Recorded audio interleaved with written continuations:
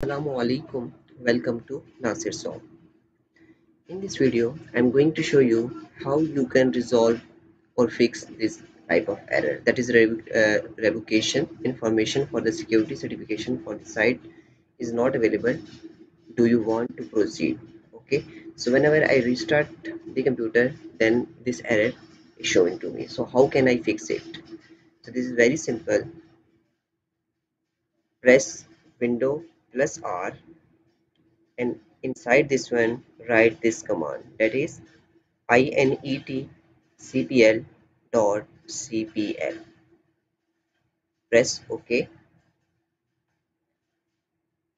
Inside these internet properties go to the advanced tab and inside the advanced type scroll down. And here uncheck this one. That is check the publisher certificate revocations. Uncheck this one. Press on apply. And ok after that restart your computer. Then this error will be resolved. So that's all. If you have any questions regarding to this topic you can email me email is mentioned in video description or you can comment inside the video comment section. Don't forget to subscribe my channel for more informative videos. Stay blessed. Have a nice day